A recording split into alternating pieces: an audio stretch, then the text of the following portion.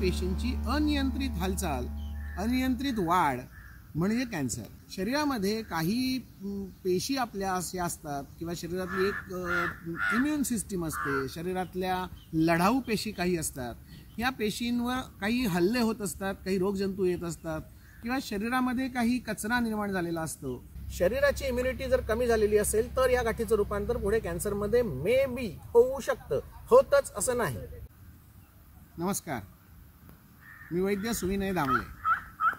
आपण कॅन्सर या रो शब्दाविषयी इतके घाबरलेलो आहोत की कॅन्सर म्हणजे काहीतरी एक महाभयंकर आणि प्रचंड मोठा आजार असं आपल्याला वाटायला लागतं. कॅन्सर म्हणजे नेमकं काय आहे? तर शरीरातील काही पेशींची अनियंत्रित हालचाल अनियंत्रित वाढ म्हणजे कॅन्सर.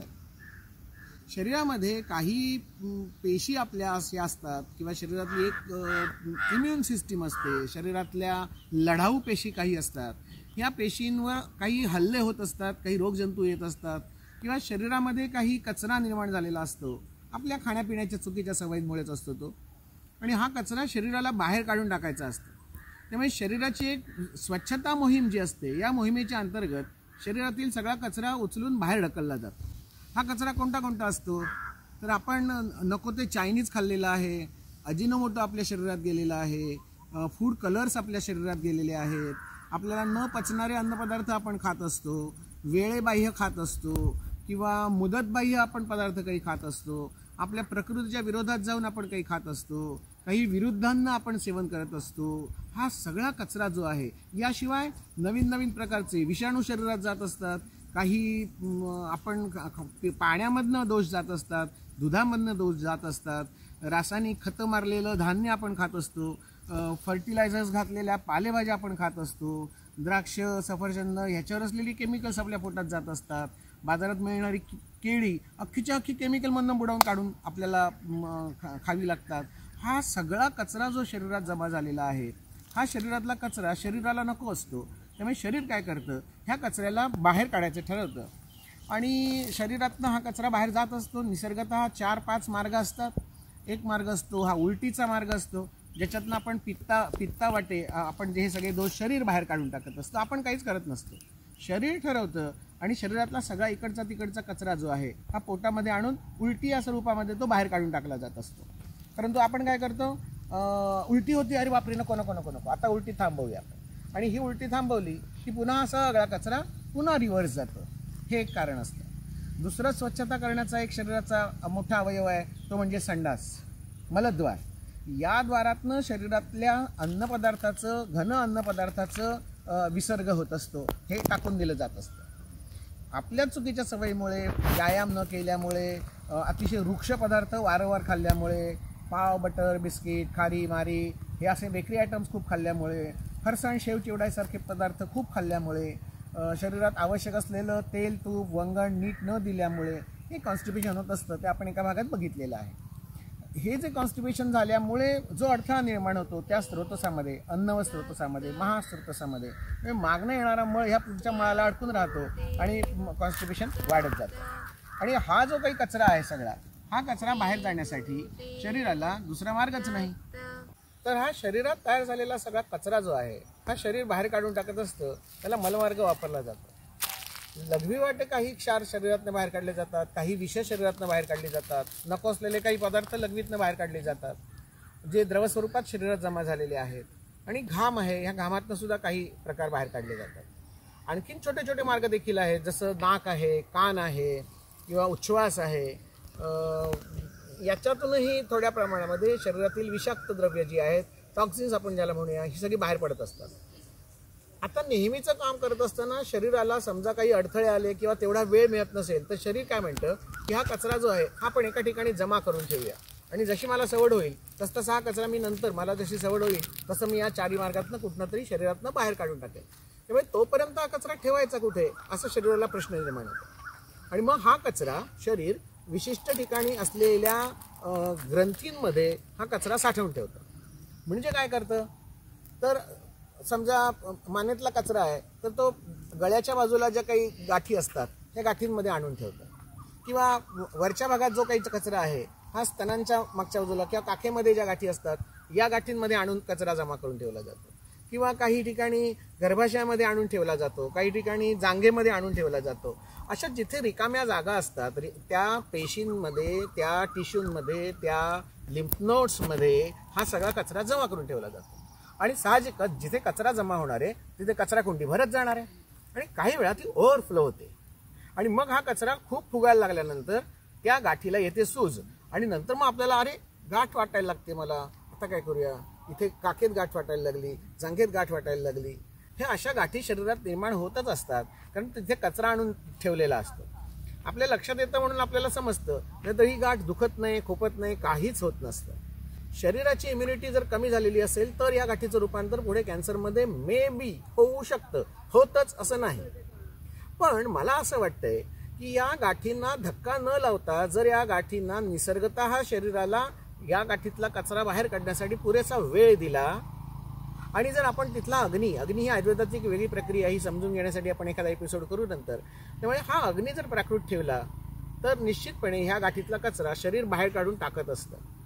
त्यामुळे या गाठीला कुठूनही बाहेर पंक्चर करून त्यातला कचरा कसला आहे तो शोधून काढूया अशा ज्या काही टेस्ट घेतल्या जातात हे खरं सांगायचं तर माझ्या मनाच्या विरोधात होत आहे म्हणजे कसं एक उदाहरण सांगतो म्हणजे तुम्हाला लक्षात येऊ शकेल. आपल्या घरातला कचरा आपण गोळा केला प्रत्येक खोलीतला कचरा गोळा केला आणि तो कोपऱ्यामध्ये जमा केला. अशा दहा खोलीतला कचरा गोळा केला पण बाहेर पडतोय प्रचंड पाऊस. आता बाहेर हा कचरा टाकायला जमत नाहीये. मग एका प्लास्टिकच्या पिशवीमध्ये हा सगळा कचरा भरायचा तो अगदी व्यवस्थित एअरटाईट होईल अशा रीतीने तो बांधून ठेवायचा. आता ही पिशवी जर कोपऱ्यात ठेवलेली असेल तर या पिशवीचा कोणालाही उपद्रव होत नसतो त्रास होत नसतो.